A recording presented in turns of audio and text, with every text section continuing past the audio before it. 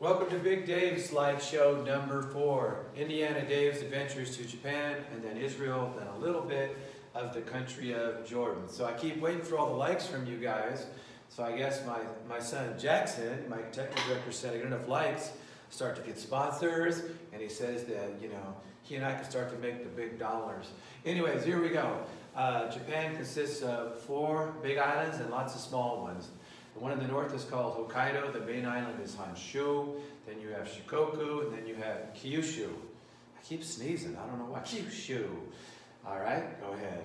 So these islands are, are volcanic islands, and lots of small ones, as you see out there in the water. Uh, a lot of the islands are connected together by bridges and by underwater tunnels even in some cases. So uh, Japan consists of lots of volcanoes. There are volcanic, uh, volcanic islands. So this is the most famous one in Japan. It's on Honshu. This is Mount Fuji. Okay, last time I checked, I think there was 30 to 35 active volcanoes. So lots of earthquakes, like 2011 was a really good, uh, good earthquake right, that created a tsunami in Japan. But as one plate slides beneath another, sometimes you get hung up, and when they finally move, you get earthquakes. Now when that plate does subduct underneath, it can melt and make its way to the surface in the form of magma and then, and then lava and get some volcanoes. Okay, this is on the north. This is the island of Hokkaido, where it's a cold climate. It's that letter D climate on the Köppen climatic system. Really, really butt cold winters. Uh, summers aren't too bad though. This is the island of Honshu, which has more of a sea climate, a temperate climate. Uh, this is an area on Honshu. I was out hiking around. I was near a Shinto shrine actually when I saw this beautiful waterfall. So lots of small farms in Japan. Um, most of the farms are less than five acres. It's very, very uh, labor intensive agriculture. You don't see a lot of John Deere tractors and things like that. In the hills, they terrace. Here they're growing rice, where they flatten out the hillsides and they flood irrigate. Yeah, it's like everywhere I went, there was rice being grown on every square inch available. This is a great slide because it shows an older style Japanese home on the left with the thatched roof and then a newer style Japanese home on the right probably belongs to the, uh, to the same family, both of them. So here's more rice being grown, island of Honshu still. These are like community gardens in the city of Osaka, a big, big city um, in Japan, and people each have their little plots in the neighborhood. Okay, this is a town called Kurashiki. So Japan is a major exporting nation. Japan has, let's see, what would it have? One, two, three, about the third largest economy in the world behind the United States and China. So they, they load a lot of products on the freighters and they bring them across the Pacific to the port of Los Angeles, Long Beach, in many cases, and unload the, all the various products that are produced in Japan. So gas when I was there was by the, uh, by the leader. and I would guess now gas in Japan, because they tax it heavily, would probably be, I'm going to guess, $7 a gallon, something like that. Okay, you drive on the opposite side of the street that we do, so if you walked out in that crosswalk and you looked the wrong way, you could die. Same thing when I was in London, a couple close calls. Okay, I believe I'm in Osaka now, downtown, some major, major traffic in Japanese cities. Japan is uh, like the size of California territory-wise, but almost three times the uh, population. So lots of good mass transit. It's a little crowded on these uh, subways sometimes, on these systems. Uh, here I am on board. Very, very crowded during, during rush hour. Japanese people work hard. They're all sound asleep, right? On the way home here, except the one, one young lady there. Bullet trains. I got to go on some bullet trains. This one was going from Tokyo to Osaka, about 150, 160 miles an hour. Just beautiful. I don't know if we'll ever get it done in California, the full thing, it's so expensive, but if we could, it would be a, it would be a good thing, I, in my opinion at least. These things just rip, it's very smooth, very nice ride. There's your daddy right there, a few years back when I was skinny and I could still dunk a basketball. But these are pickup trucks. You don't see the big Tacomas and things like that, or Nissans in, um, in Japan. They're all like really small pickup trucks like this and lots and lots of bicycles. This is kind of a, this is Okayama, I believe the town was called. It, uh, no locks on the bicycles, very, very safe place to be. Um, this is the underground. So, like, I think I'm in Osaka here. And so they built the city as high as they could. Then they started building underground, I guess. A lot of subway systems and lots of malls that stretch for miles underneath the city. This is uh, Tokyo. Okay. Um, it was actually a weekday. Everybody was at work. Lunch hour. It just got jammed out here in that in that area. Another look at Tokyo. Okay, this is Osaka. It looks very westernized, right? It looks like it could be an, an American uh, American major city. I believe that's Osaka again right there, just the high rises. Now I feel like I'm more in Asia with the arcades. So I believe this was in uh, Okayama again, lots of small businesses. Again, arcades, small businesses. Now this is part of the big underground mall that stretches for miles um, underneath uh, Osaka. So you walk and walk and walk and then come up from the underground, try to figure out where the heck you are. Okay, this is, uh, that's a friend of mine right there, and he taught at the College of the Sequoias math, and I went with him home, so I got to spend two weeks in Japan, and this is just a typical neighborhood. In, uh, I think it's Osaka right here, but the streets are really small, so the automobiles are extremely small in many cases. Typical apartments, housing um, in a Japanese city. And I think this is a great slide. It shows a small car, it shows the, uh, the train system, right? and it shows the apartments up above. The Japanese people, basically the living space is nowhere near as it, as it is here. Very typical, those apartments I would guess up there might be 700 square feet. You'd have families live in those. Which shoes are mine? Pretty easy to tell. When you go in, in the houses in Japan, it's, it's customary to take your shoes off. They consider it very dirty, dirty if you don't. Um, this is my buddy's house. It was a really small town It was called Yoshi Town, and it was up in the mountains, and his father built the house. This is a very typical Japanese house with the sliding doors, uh, the kind of the rattan mats, and they have futons. And we sleep on the futons, and you fold them up um, in the morning and put them away in closets so the living space would be larger. Okay, this is my buddy's mom. You know, a lot of Japanese people are, are shorter than me. I get bumping my head on the uh, doorway, so she tapes sponges up everywhere. I was getting cuts on my forehead because I'm pretty lame. All right, I'm with the family right here, having a typical Japanese uh, meal. What I remember a lot is a lot of sushi, a lot of rice, a lot of, uh, they're called seaweed balls, essentially. They would wrap seaweed around rice, and every meal they seem to have, seem to have that. Typical toilet in Japan for males and females. Um, gotta gotta squat down there to do do those number twos, right? Gotta have some strong quads right there. All right, this is the old feudal era um, castle in Osaka. I believe it's a, a, replica from the Shogun days. So this would be the castle as it might have looked. Oh, I'm trying to think here, maybe five, six hundred years ago. Surrounded by a moat, of course, for protection. Um, this is the largest wooden structure in Japan. I'm in a place called Nara. It's a big tourist attraction. Inside there's a 700-ton Buddha made out of gold and copper. It's hard to see on this slide. Maybe see the outline of Buddha right there. Uh, this would be a Buddhist monastery uh, dating back to about 1400. It's one of the few that remained intact after, after World War II.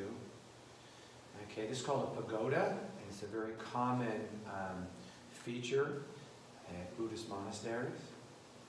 Another pagoda. I'm wandering around the countryside right here, and I went into this smaller Buddhist monastery.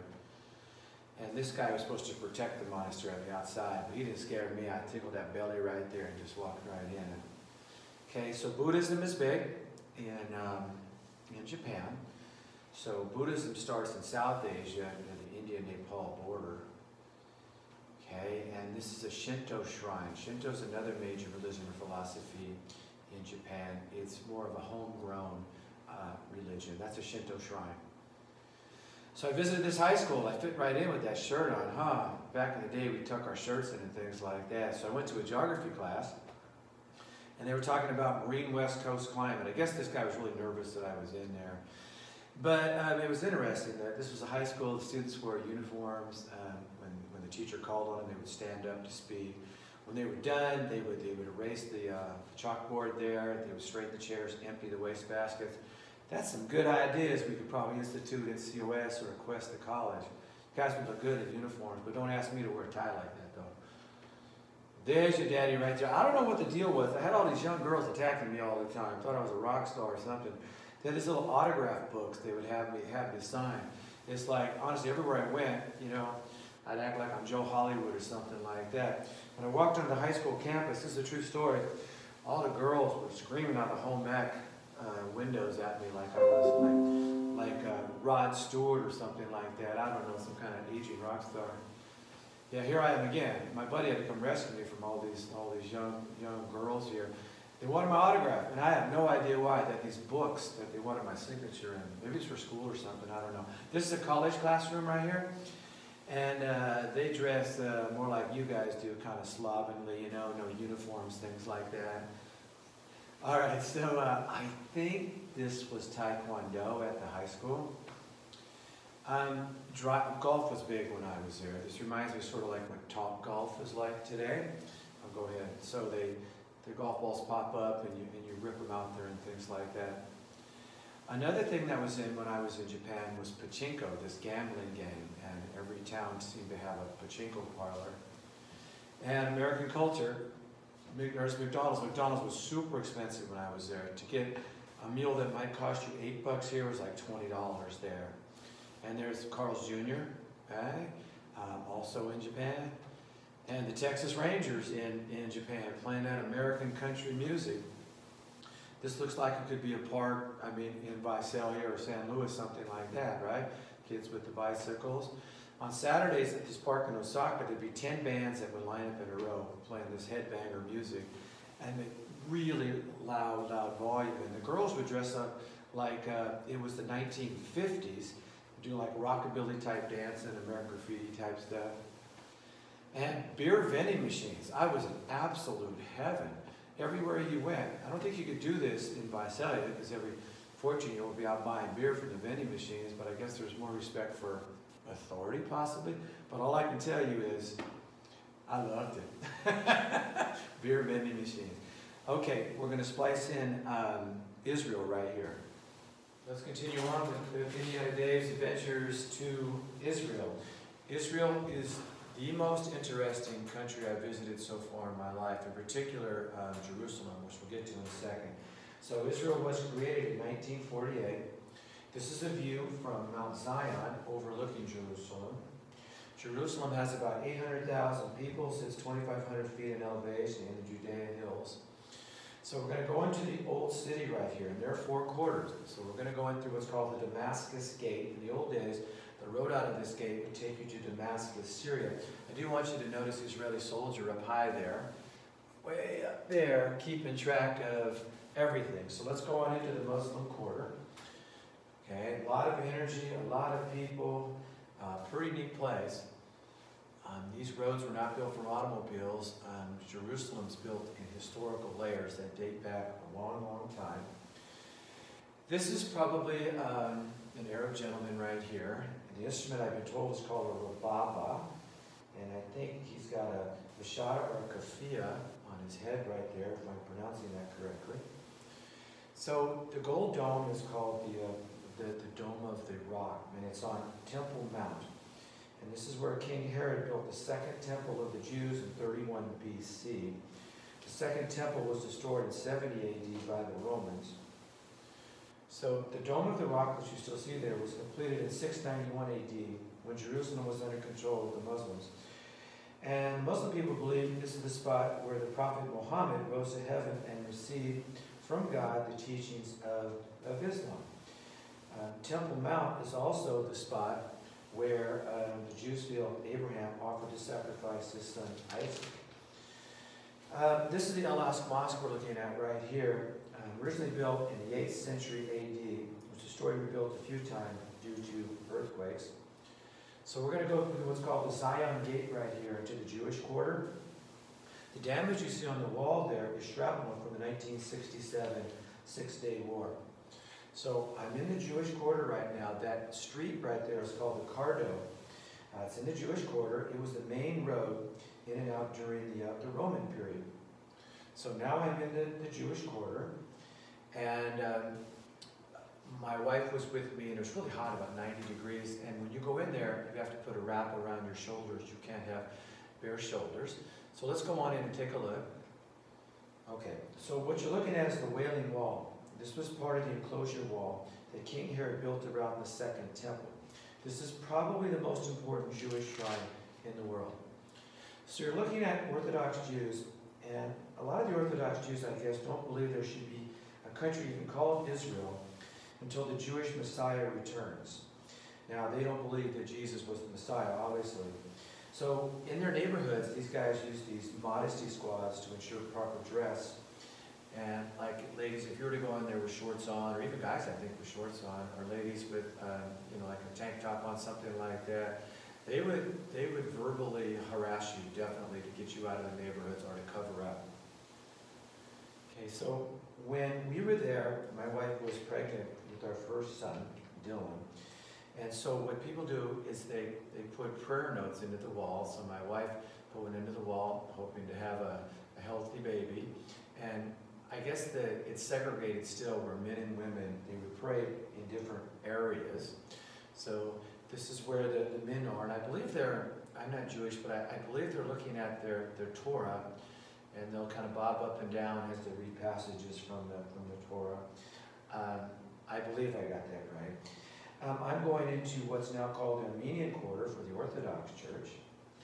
Uh, this area here, for Christians, you probably know more about this than, than I might, um, the Via Dolorosa.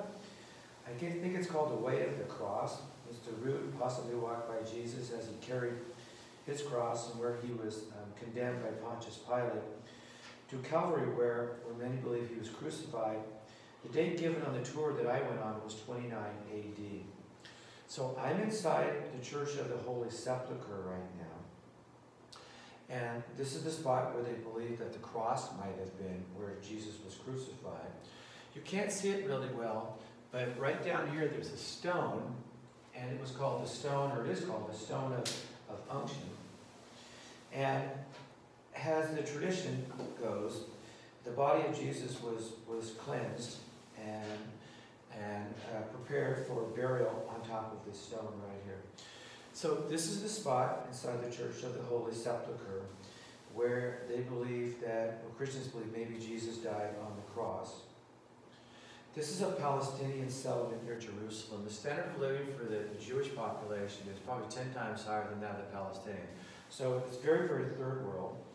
This is a Jewish settlement. I wish I'd have gotten closer to give you a shot of this. This is a Jewish settlement outside of Jerusalem in the West Bank area, and they have a very, very high standard of living. This is a city in the north called Haifa, very nice city. It's, it's on the Mediterranean. It's a port city, a very nice climate. This is the Jezreel Valley, and this is called the Jordan Valley. You can look at the country of Jordan out there in the distance. This is the border with Jordan. So Israel is surrounded by many countries that, that don't like them. Let's just be frank about it. So they really have to be careful, protect themselves. So I see jeeps going up and down between the barbed wire electrified fence right there occasionally. So crops that you would see if you went to Israel, crops that I saw, olives. Um, there's grapes, and you see date palms out there also in the distance. So I went and visited a kibbutz, which is an agricultural communal settlement. It's one of the few times that I've seen where communes actually work. Uh, if you live on a kibbutz, you're called a kibbutznik, a kibbutznik, and you have a pretty high standard of living, and it's open for any Israeli citizen to join. Not all Israelis want to join this because not everybody wants to live in a communal lifestyle. These kibbutzes have diversified into industry in many cases also. Okay, so this is the Jordan River. It connects the Sea of Galilee in the north, which is a freshwater lake, to the Dead Sea. Now, on the tour that I was on, um, they were talking about this, maybe the spot or close to the spot where Christians believe John the Baptist baptized Jesus. The date given is about 27 AD. There's my wife right there. Um, she was raised Roman Catholic, so she got some water out of the uh, Jordan River right there and had a priest blessed it and she gave it to some of her some of her Catholic relatives. This is a city called Nazareth and if you're a Christian you probably know uh, this is where Jesus may have grown up. Today it's a city of like 70,000 people. Okay, in, in Nazareth, this is the Church of the Annunciation, whereas Christian tradition states this is where the angel Gabriel appeared to the Virgin Mary, announcing the coming birth of, of a child, Jesus. Okay, this is another historically amazing place. This is Tapka. It's in the lower Galilee region. It's where um, Jesus reportedly performed the miracle of the loaves and the fish. This is a this is called Capernaum. It's a synagogue where Jesus probably preached. The history is just incredible as you go through this. Um, the Sea of Galilee. This is in the north. It's a freshwater lake, 14 miles by 7 miles wide. It sits about 700 miles below sea level.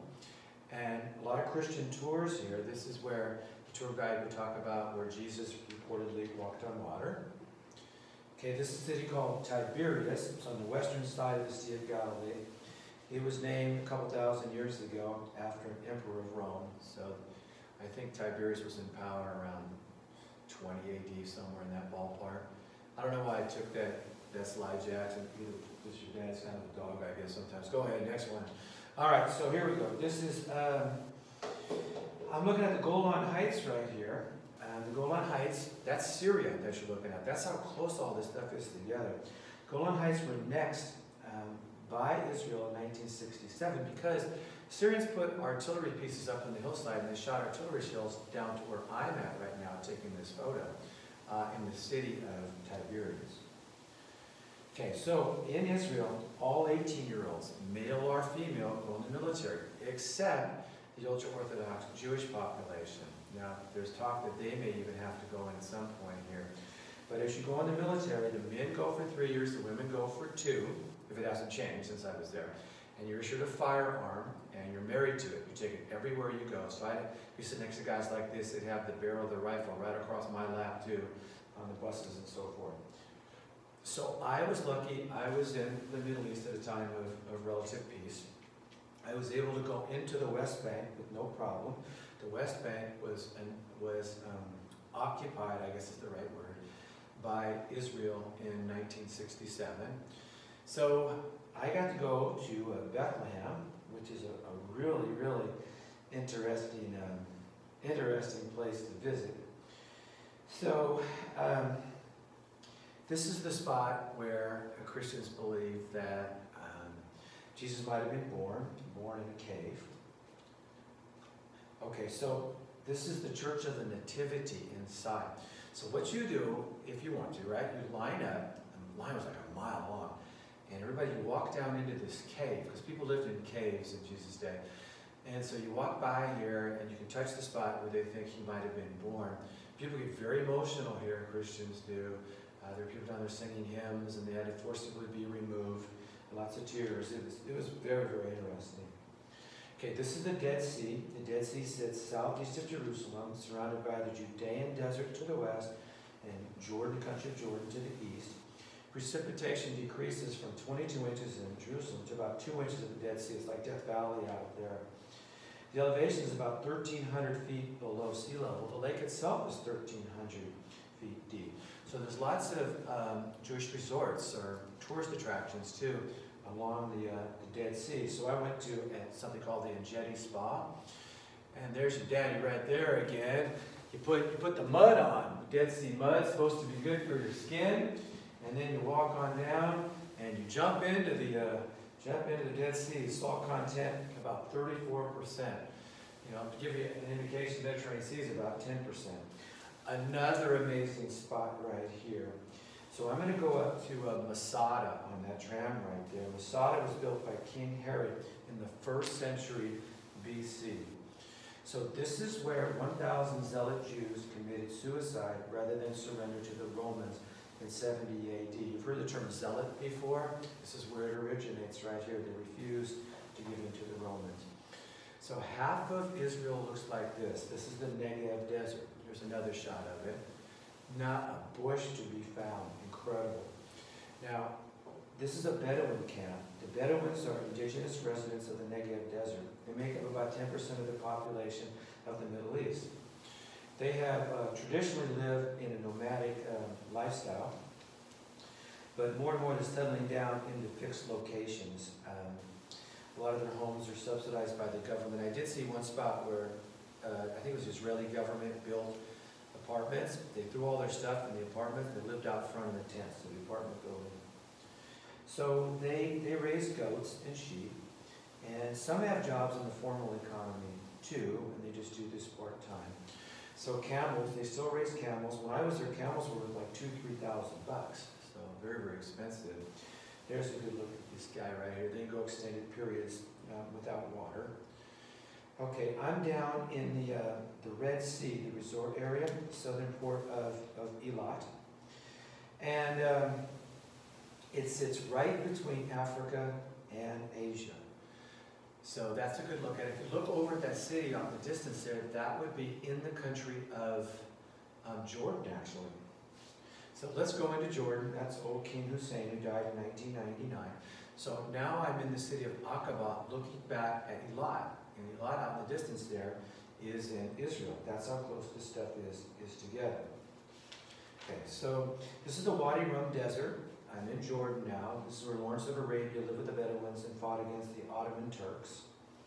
This is a town called Wadi Musa. Um, this is the gateway to Petra. So we're going to go into Petra right now, maybe the, the most uh, interesting archaeological site, maybe in the Middle East, definitely the most expensive one to, to visit. So you go through a sandstone canyon, just see this amazing, amazing uh, formations in the rock. And so this little gorge right here, so I'm walking through that, and I'm going to come out, and this is what I see. Maybe some of you recognize this. This is from uh, Indiana Jones. I think the first Indiana Jones movie. That's called the Treasury right there. And what the function was is, is unclear. But uh, it's about 130 feet, 30 feet high. Built by the Nabateans, I think I'm pronouncing that correctly. Okay, so this area was annexed by the Romans in 106 AD, and you go on a camel ride here, which, which is kind of, kind of a fun thing. So um, just go ahead, another slide. Amazing um, archaeology as you walk around. The stuff that you see, it's not fenced off. You can walk up there. Just incredible stuff. Okay, that's going to end slideshow number four. Hope you enjoyed all these slideshows. And uh, get your assignment into me. Thanks, guys.